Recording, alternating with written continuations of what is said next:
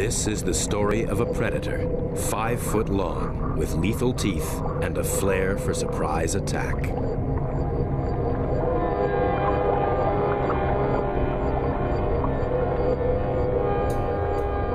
The Great Barracuda has had a very bad press. Scare movies would have us believe that they crave human flesh. It isn't so. But that doesn't mean that it's always safe to go into the water. In 1997, in Florida's boating capital, Miami, a local woman experienced a close encounter with a great barracuda. And what began as a routine dive turned into a bloody nightmare. Due to an accident the clearing stages. And remember, Biscayne Boulevard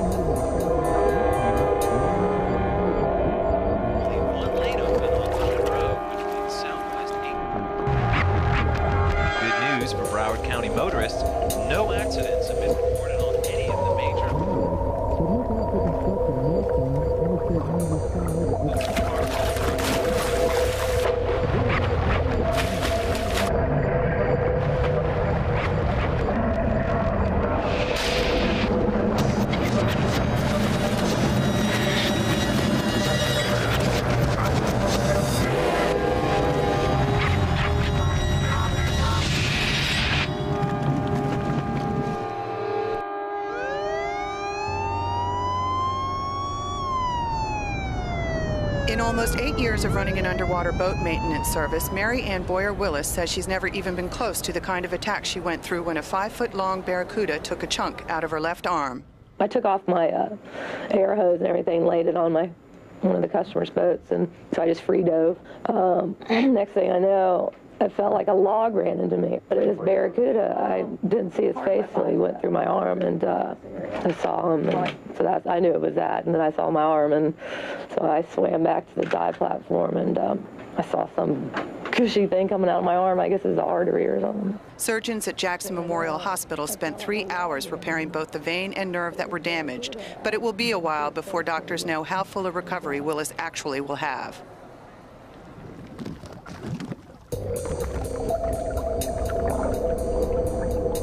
Marianne was not alone. In the world's busiest waters off Florida, many a diver has a sorry tale to tell.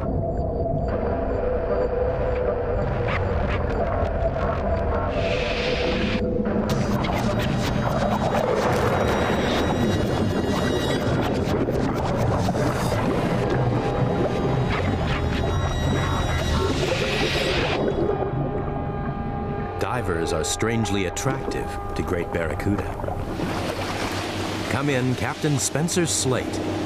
One of the times I had an encounter with Barracuda, he hit me in the mask at such force that it crushed my sinus and actually permitted, prevented me from diving for about three months until uh, my little sinus re-healed. And that was a pretty painful hit. It was better than uh, I, would, I would relate it to getting hit by a prize fighter. I thought I was going to get knocked out, but it did hurt, and it was a serious hit.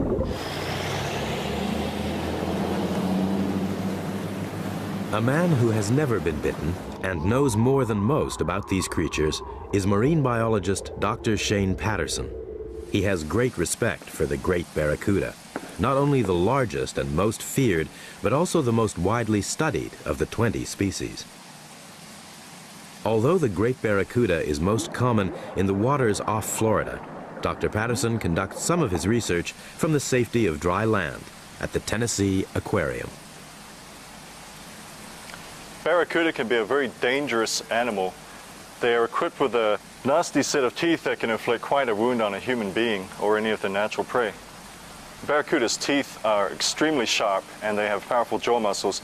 Even a raking injury, a glancing blow from this fish can cause a massive wound, a lot of bleeding, a lot of tissue damage. The reason why they have these large canines up front that will actually impale prey, but these cutting teeth are also extremely sharp along the sides. The effect of a barracuda bite is basically that of a meat cleaver moving rapidly through the water and slashing through the tendons and muscle and even the bone of whatever it hits. Contrary to popular belief, barracuda do not prey on divers and snorkelers, although they are exceptionally inquisitive.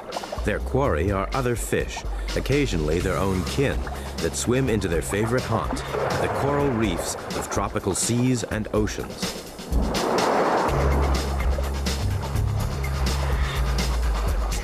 Barracuda have a layer of slime covering their bodies. This cuts down on friction with the water, making it easier for them to reach their top speed.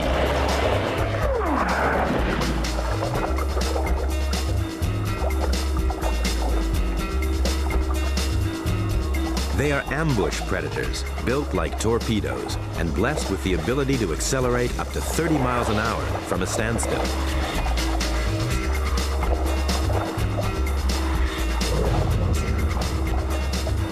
They have established themselves as the top guns of the coral reef. And in the race for survival, snapper, grunts, and chub stand little chance of escaping the jaws of these speed merchants. Barracuda are predators, not scavengers. They enjoy the chase and appear to be disinterested in prey which are no longer moving.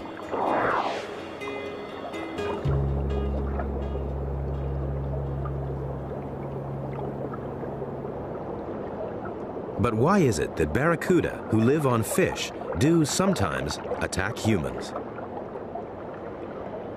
Dr. Shane Patterson sheds more light on the subject. That's something that you definitely don't want to do underwater if you can possibly help it. Barracuda home in on flashing objects. To them, flashing objects mean food because they look like the scales of the fishes that they eat. So if you jump in the water with a shiny dive watch or a piece of jewelry, piece of dive gear, a tool, Barracuda may well mistake it for its natural prey. There are certain environmental conditions that make this more likely. The, the two main ones would be reduced visibility, murky water, or uh, low light levels, twilight, nighttime. Same conditions most shark attacks occur. The barracuda's eyes are attuned to the long wavelengths of light which prevail throughout dusk and dawn. This is their prime hunting time. In these ideal conditions, great barracuda often hunt as a pack.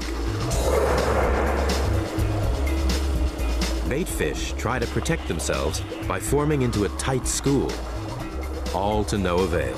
When the barracuda is about, there's only limited safety in numbers.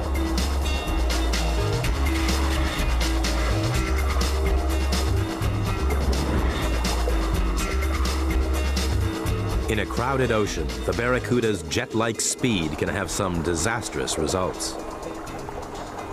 The trouble is that Barracuda moves so quickly when they're on a predatory strike that they can't possibly call off the action before it's too late, and there's no way the human can react. We just can't react that quickly.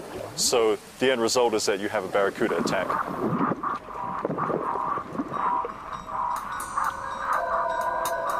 Three years after her ordeal on the Florida coast, Marianne Boyer still works in the water, maintaining boats. She is left with not only the scars, but a grim reminder of what is believed to be her assailant. Here's the uh, barracuda that bit me, and this is where it happened right here. It was a very clear day um, in the middle of the afternoon. It was very, I do remember, it was very sunny and very glary as far as the sun and then the water go. And I swam about 10 feet from the boat that I jumped into the water from. And all of a sudden, I felt like bam. And I immediately looked to my right and I saw a five foot barracuda. So I knew that I probably had been bit. And then I saw a lot of blood in the water and around my face and everything. So I swam pretty fast and, and got out of the water as best that I could and got to a dock phone and called the front desk. My brachial artery was just shooting out blood like a, like a geyser. my arm, the forearm, had been filleted, basically. I lost a third of my blood. It was basically running off both sides of the dock. it was pretty bad. He uh, bit me in two areas. He got my, my lower bicep where he, he severed my median nerve, which controls feeling and part of your hand, and he also severed my brachial artery. The whole arm took 100 stitches to repair. I still, to this day, three years later, I still don't have feeling on the inside of my hand, three of the fingers and part of half the hand on the inside. Now, something that I used to ignore, I now respect and I am aware of. If that's, you know, that's basically what had changed me as far as going into the water. Hmm. Hmm. wow! Today is the first day of the rest of my life. The chocolate chunks everybody wants. Chunky Chips Ahoy, they go fast. It's high season on the Florida Keys, and despite the tales of horror, tourists still flock here to invade the underwater world of the Barracuda. This is the most dived region on Earth. Their guide and protector is Captain Slate. What we call today is actually the creature feature, and I guess if you want to describe it, it's a fish interaction dive. When you go diving, that you interact with the creatures in the sea and have an experience with them. The only person that actually handles the bait is me, the feeder, because we don't want any chance of them being mistaken or someone pulling the fish out of the bag that doesn't know how to do it properly and getting accidentally bitten. Anyone that does this willingly, of course, and feeds barracudas has to run the risk and probably will sooner or later get bitten in some form or the other. I, I feel like the benefits way outweigh the danger in my book. Someone that, that does it for the first time and gets bitten the first time may not think that.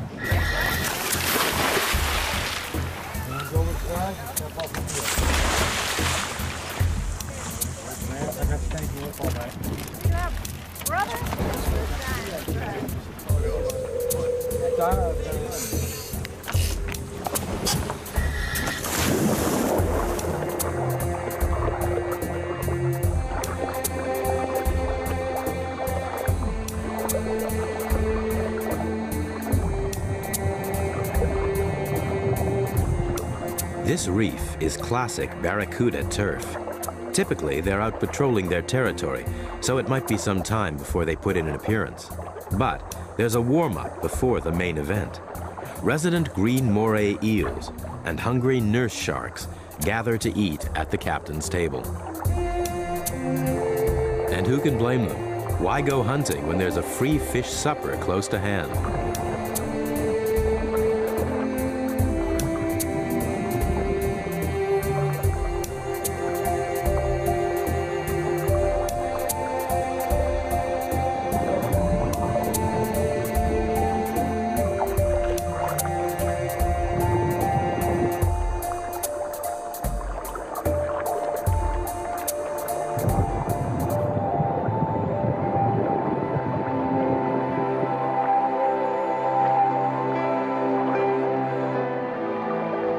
Over the past 20 years, Captain Slate has developed a remarkable relationship with all these creatures. There's a mutual trust as man and fish reinforce their bond.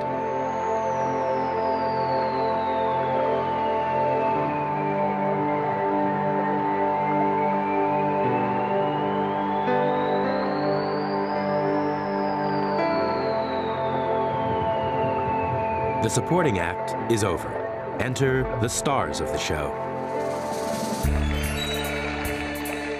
Barracudas have come through and I feed them and I take my hand and rub them as they go through. And the fact that they can come up to divers in a marine sanctuary where they're not molested and repeatedly take fish from us and be 30 divers in water and their hands frailing all about and the barracuda weaving all between the divers to come to me to catch the fish. So it's, uh, it's pretty unique. There's risk involved because, of course, barracuda have razor sharp teeth and they're razor lightning fast. The disadvantage of them is they're faster than we are. You have to be very careful. The ballyhoo that I feed them is a little, sometimes six to 12 inch fish, and once you show them that fish, they come for it. I mean, there's no, no in between. There's a method to it, and its timing is within seconds, or half a second. Sometimes I've missed, and, and sometimes I've had more than one cuda come up at me, and one would bite me. So it, it's very, uh, it's a dangerous trick. You just have to be very careful. We do it very successfully, but once in a while I get bitten. But the cudas are just very fast. You have to remember that, and you have to know not to show the ballyhoo until you want them to come. They're really the most efficient predator in the ocean. I've been diving for 37 years, and I've never seen anything to compare to a barracuda as far as a hunter. And of course, the ability to kill is phenomenal. I've seen them bite each other in half in a blink of an eye.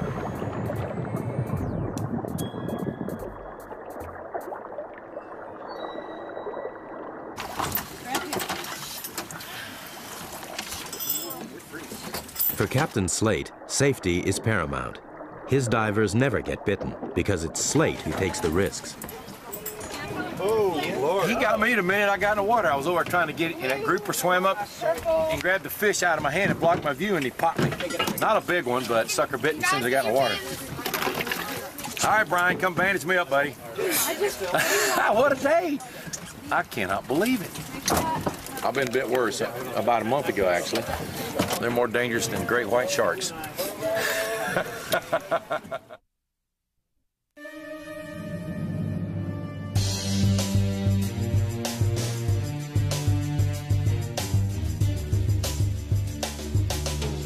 Mutual of Omaha's Wild Kingdom, Sundays at 7 on Animal Planet. Great barracuda are highly successful predators, identified in fossil remains that date back to the time when the great dinosaurs walked the earth. But their success is not all down to being a top predator. Some of these little fish are barracuda buddies. This coral head is a permanent location for a barracuda health spa and beauty salon. There's another, more gentle side to the menacing face of the great barracuda. It sends out safety signals. The position of the barracuda's body and the darkening of its skin lets the neon gobies know that it's safe for them to get down to work. The cleaning service they provide is vital for the good health of the barracuda community that lives on this reef. Their skins can become infested with parasites, which the cleaners remove, along with dead scales and mucus. It's a you scratch my back and I'll scratch yours relationship, because Dr. Patterson has observed that the cleaner fish also eat this debris, so they actually feed when they clean. It's a fishy version of teeth flossing. Loyal customers, Barracuda return frequently to the same cleaning station where they know they'll get good service. Dr. Patterson witnesses other large predators, like this grouper, equally dependent on little gobies who groom.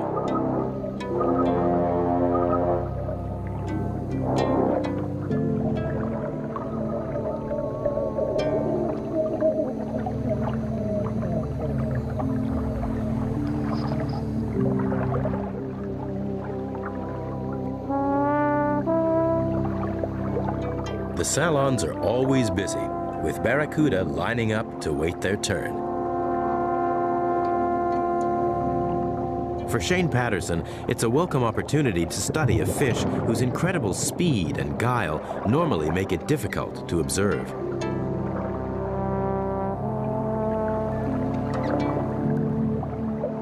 It's clear that when they're in a passive mood, they seem to live in peaceful coexistence with other marine species.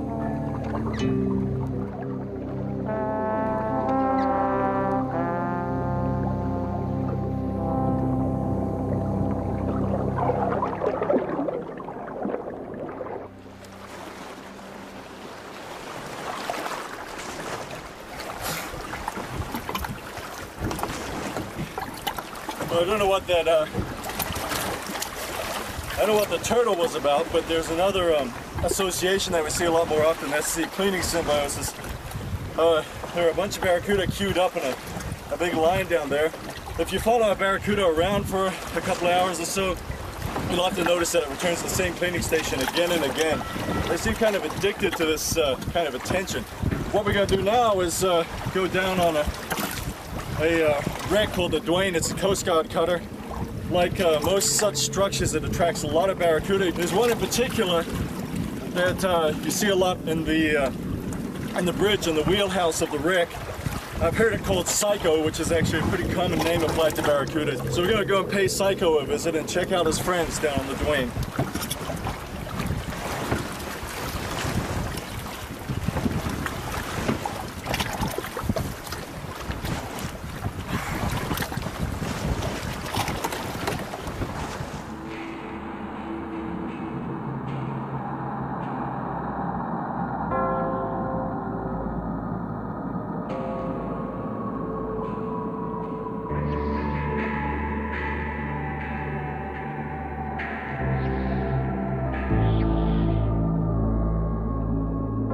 Psycho stalks the wreck of the Duane, ever watchful for the next party of divers.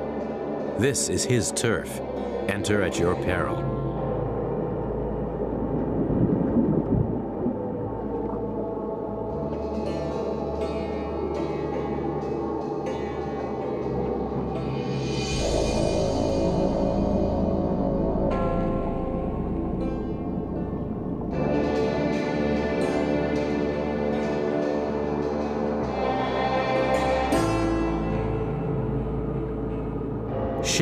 Litter the seabed along the Florida coast. Barracuda adapt especially well to this man-made environment.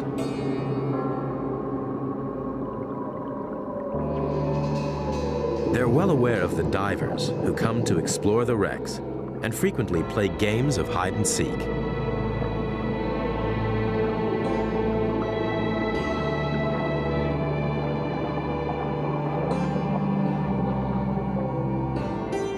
The Barracuda have taken over command of this ship, and an eerie atmosphere pervades. There's a sense of being watched.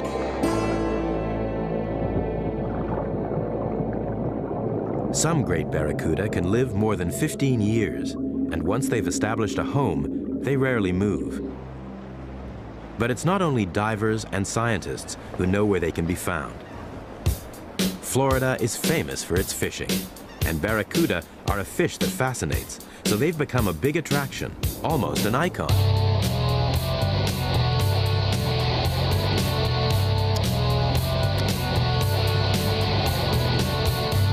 The downside for the barracuda is it's becoming a sporting trophy.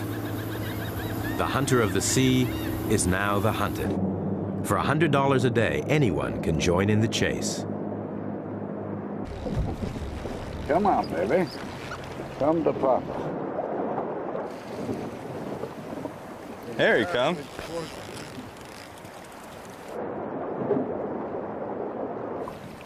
Nice fish. All right. We won't gaff him, we'll just release him.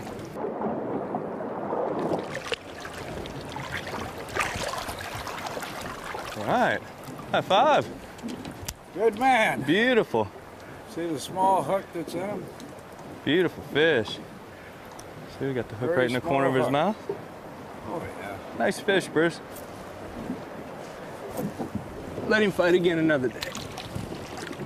Most fishermen release their catch, and not simply out of kindness. Barracuda eat smaller, toxic fish, so their flesh can become poisonous and can even kill a human being. Ciguatera poisoning, as it is known, is as infamous as the barracuda itself, and in Florida, barracuda are rarely caught as food. You know, your average fish are anywhere from a couple of pounds to 20 is beautiful. Like the ones we were catching earlier were, you know, 10 to 12 pounds.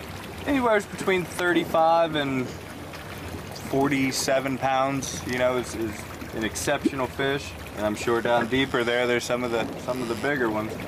Well, I haven't got lucky enough to even hook one yet. There he is. Yeah.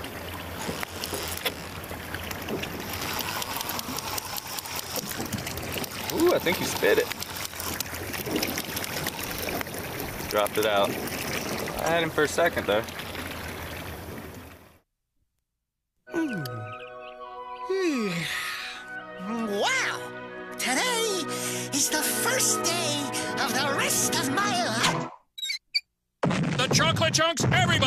Chunky Chips Ahoy! They go fast. All too often, the barracuda's sharp teeth and rapid speed will snap the fishing line before they're landed. They may be the ones that got away, but a double hook and a length of fishing line still skewer their jaw. Here at the Aquarius Undersea Habitat, a reef observation center 70 feet deep off the coast of Florida, the barracuda can find sanctuary.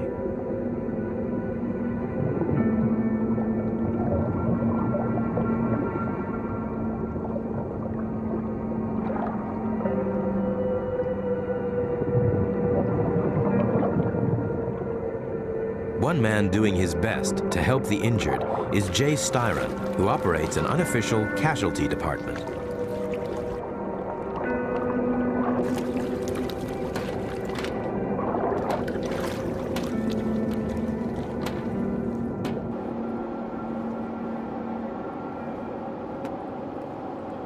Jay spends much of his time living in the habitat, earning the trust of barracuda who still carry relics of their battles with fishermen.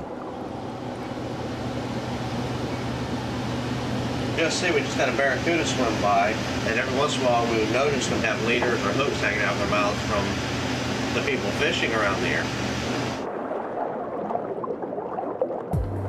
So I just started seeing if I could catch them. It was a lot more difficult than I thought, so then I went to free diving and found that you could get a lot closer to them if you weren't exhaling bubbles all around them and scaring them all the time. And you're a lot more streamlined and can maneuver a lot better may not catch the one that day, but maybe the day or two later they'll uh, calm down enough and you can actually catch most of them.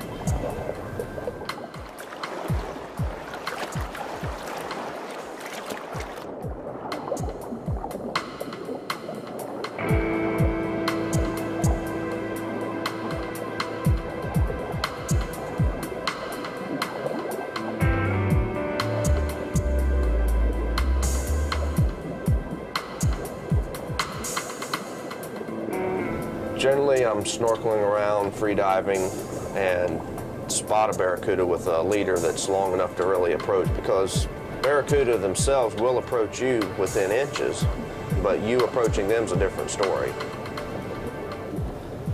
Then I'll try to get behind them and I'll dive down below them and then look up and start sticking my hand out just in front of me so I'm not making any sudden grabs towards them right at the last second so it's already there.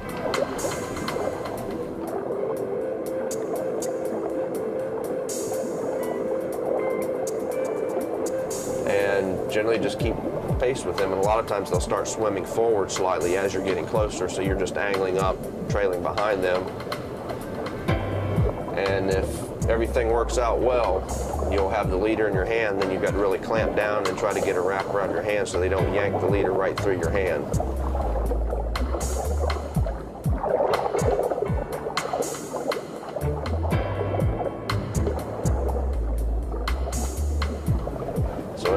Circling around trying to shake the hook, I'm gradually coming to the surface with them. And after they've tired out sufficiently that I can grab them by the tail, I'll turn them upside down. And they go into a tonic state. And then it, I either decide to get the hook out then if it's just in the jaw and it's easily removable, or I'll bring it to the boat and get somebody on the boat to help me with a pair of pliers. Tonic immobility is well known in many animals when they're startled or restrained, especially upside down. It's a freeze reaction that is not fully understood, but is known to work well on barracuda. It also makes the work of the scientist much safer.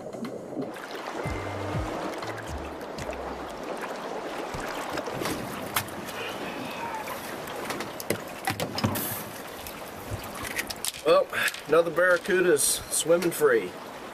As you see, this is usually what you find hanging out the barracuda's mouth down there. Looks like it may have been in maybe a week, 10 days. Uh, it probably would have eventually rusted out, but it's nice to get it out of there so they can feed unhampered.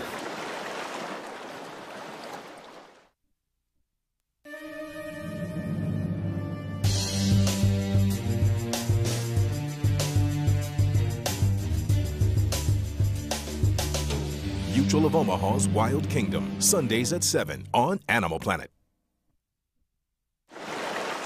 Surprisingly, in some parts of the world, it's the barracuda which actually help the fishermen.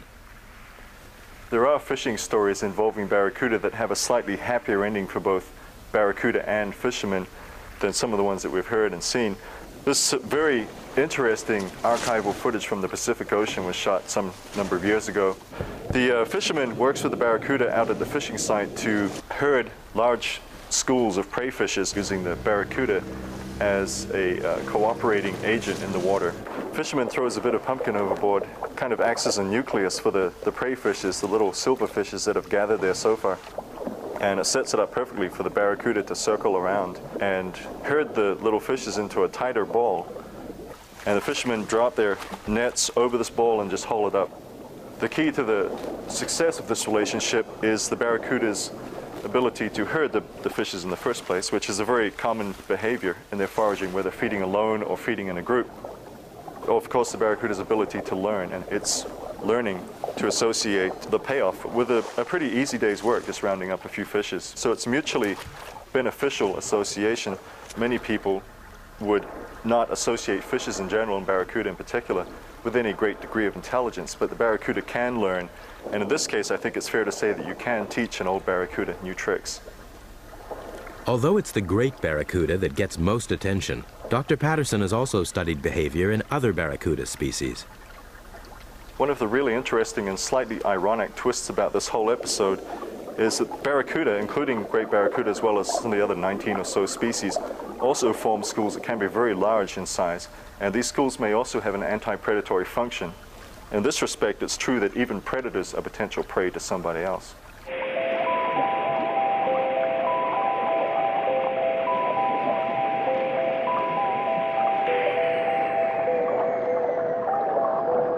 These blackfin barracuda are typical of smaller species, which form into massive schools in many regions of the Pacific Ocean. A school like this contains around one and a half thousand fish.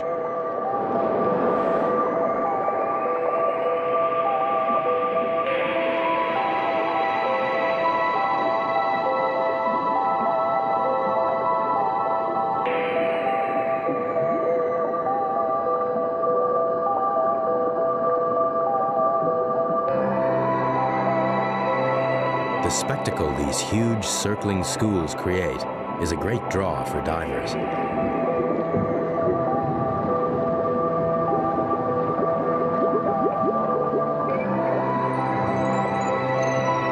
These mass formations offer some degree of safety in numbers for smaller species of barracuda.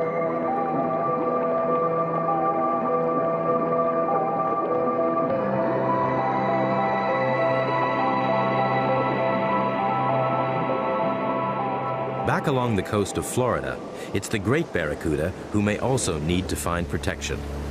Adult fish have few natural enemies, but when they're young, they're extremely vulnerable. From the moment they're born, they're on their own, left to survive without the protection of an adult. They find safety in the mangroves. Hey, here we are in a slightly different kind of habitat. This is the uh, mangroves, a very extensive tract actually.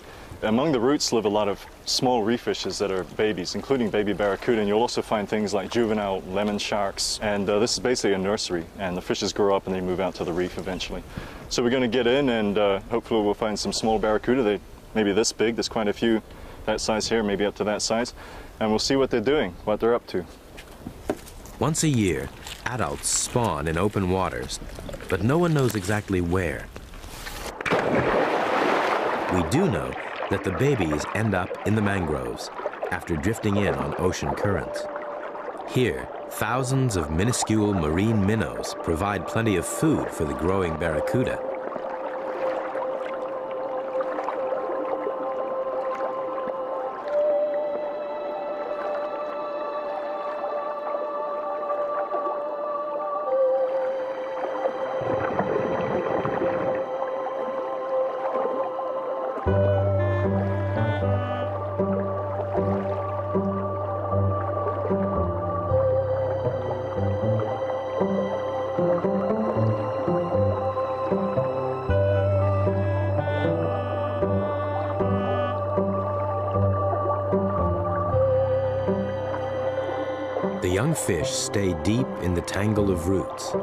Out for prey and hiding from other young predators.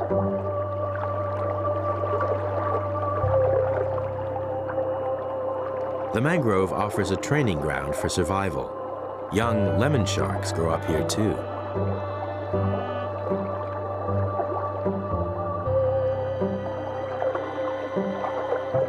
Their stealth takes time to develop.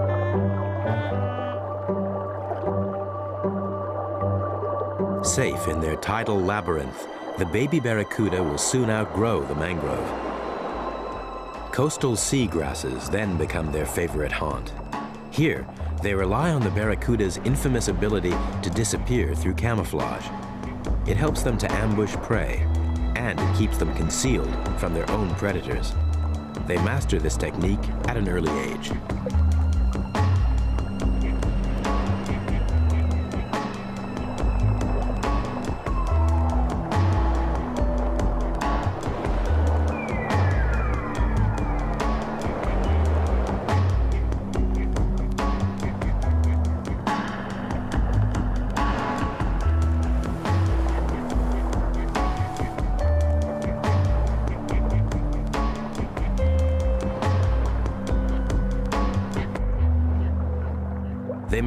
At two years old.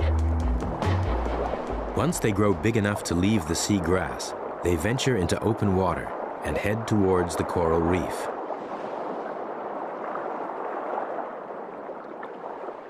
Unlike the mangrove, there's little protection, but there are still plenty of bigger predators. Caribbean reef sharks compete for dominance of the reef.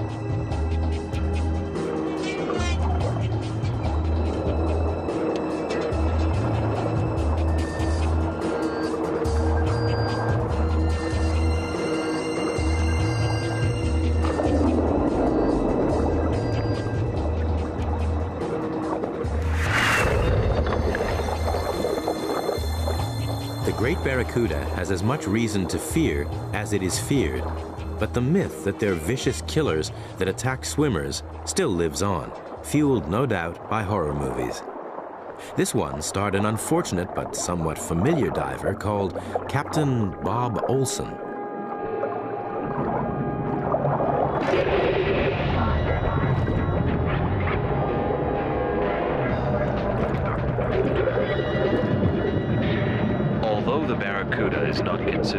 Aggressive towards man, in this unusual incident, the fish became confused and bit Olson in the face with its razor-sharp teeth.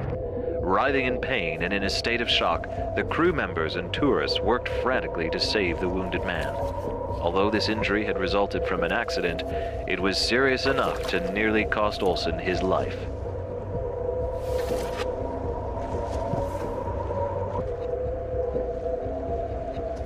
Pretty horrific stuff. And strictly for the movies. Here's the man who knows. There are many times when I go out on a Friday feeding that people have heard of me feeding for years and decades, and they get on the boat and they say, Slate, aren't you scared to do that? We saw this movie where this man got attacked and his face got mauled up by a barracuda and he almost died. Aren't you terrified of that? And I kind of giggle and I give him, I said, was the guy's name uh, Captain Bob Olson off the Yucatan Peninsula? And he go, yeah. I said, that was me. It was absolutely totally made up for the show and to make a big event of a barracuda biting someone, which, of course, we had to fake it. And I was glad of that. The captain's blood was fake. Marianne's was all too real. Today, the real-life victim has a date with the movie stuntman.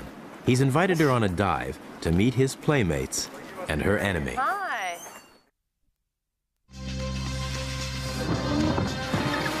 Sunday night. Get closer than ever before for a wild look at the very best of Animal Planet. Open wide. From Hornet Wars to Homebodied Hippos. Who would have thought they were so talented? Don't miss Terry and Bendy as they roll out the red carpet for our greatest shows and specials.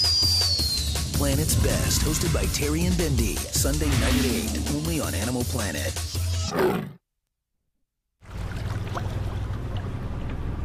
Two people with a very different approach to barracuda set out on an experimental journey. When I see my first time divers and snorkelers get in the water and have a fear of this animal, and by the time the feeding's over, have no fear of this animal or, or more respect than fear, to the point that they're not going to fear him and get in the water and go diving, and then I feel like it's worth the risk. And having Marianne on the boat today and feeding with me, knowing that she went through a, barracuda attack, uh, any kind of injury that requires 100 stitches is serious, but to have her on the boat today is just a joy, and I'm tickled to death to formally meet her and get to go diving with her today. I'm excited. I think she'll come away with a better respect for him, and I believe she'll enjoy him even more.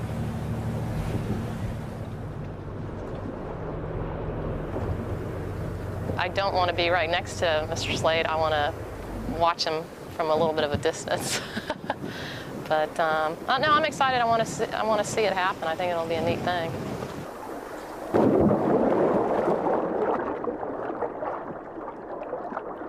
For the fearless Captain Slate, this is just another dive to visit old friends. Just another day at the office.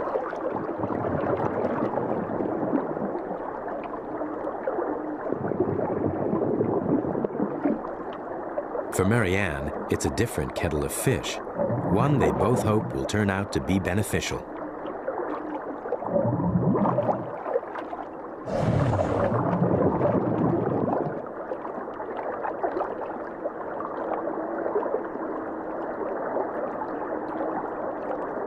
Any diver unfamiliar with the behavior of barracuda would find this a nerve-wracking experience.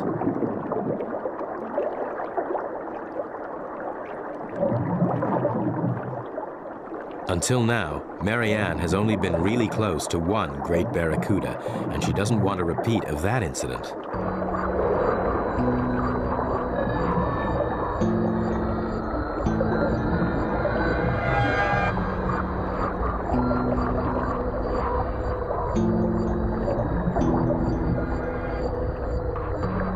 Even though she knows Captain Slate will be looking out for her, Marianne knows the damage a barracuda can inflict. Are the fish beginning to show an uncanny interest in Marianne?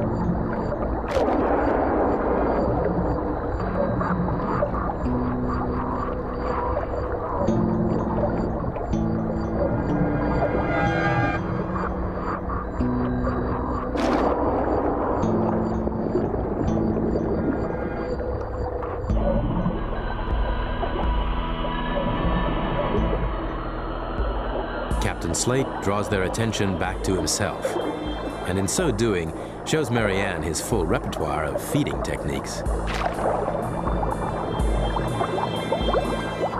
Marianne can only watch in disbelief.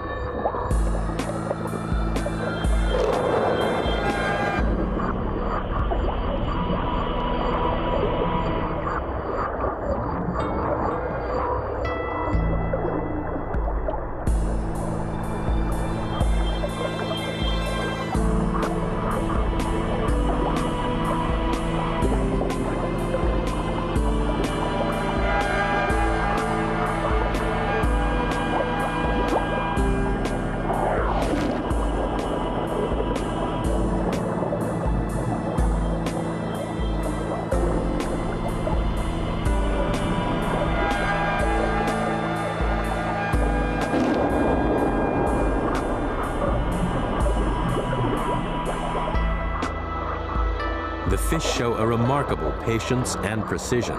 They miss the captain's face by inches.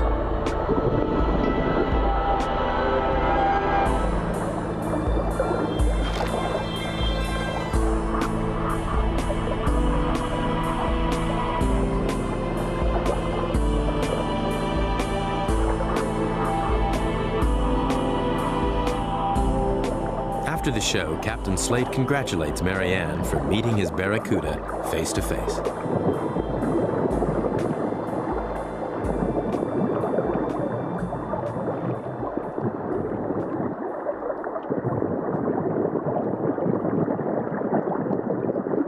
Marianne knew the great barracuda's reputation as a fearsome hunter before she made this dive. After witnessing the captain's fearless feeding display, she has now seen that the fish is not the willful and dangerous animal that many believe it to be, and its reputation as a manhunter has been greatly exaggerated. But getting so close to the big fish again has been exhausting. For Captain Slate, it's been an opportunity to meet one of the few divers unlucky enough to be bitten by a great barracuda. The Great Barracuda's hunting grounds are the most dived waters in the world. Surely the fact that they do not run with the blood of hundreds of hapless divers is testament to the placid nature of these intelligent